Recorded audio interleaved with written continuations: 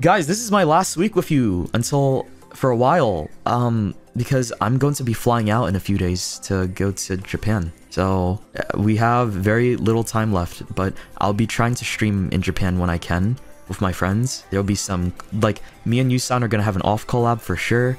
I'm going to have a cooking stream in Japan, and I'm gonna try to stream a Minase if I can as well, and maybe uh maybe some I'll be on other people's streams when I'm in Japan as well. So yeah, keep an eye out for that, and I'll be sure to be posting often on Twitter and Instagram about my adventures. I'll probably be hanging out with the roomies as well, because it kind of, dude, we didn't even plan this. I was like, oh yeah, I'm gonna go to Japan during this time, and then I found out, oh shit, they're going to the Japan the same time I'm going, so like we're gonna try and hang out as well and do some stuff together, maybe.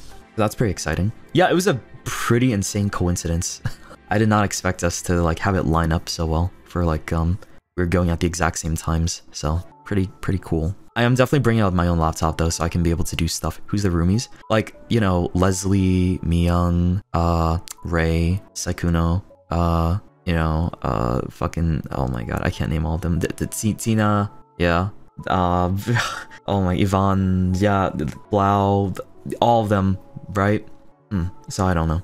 How long am I staying for? I don't know, just a few weeks. A few weeks. Sykkuno said he's gonna bring his laptop to farm Buttcoin. Hey, me too. I'm gonna be logging on. Like, I think during the nighttime, I'll probably like log on to my uh account so I can farm a little bit of Buttcoin and just like go around and do some stuff. So I'm not like lagging behind. You know what I mean? You can't live without my streams for a few weeks. Yes, you can. There will be a there will be streams here and there. Trust me.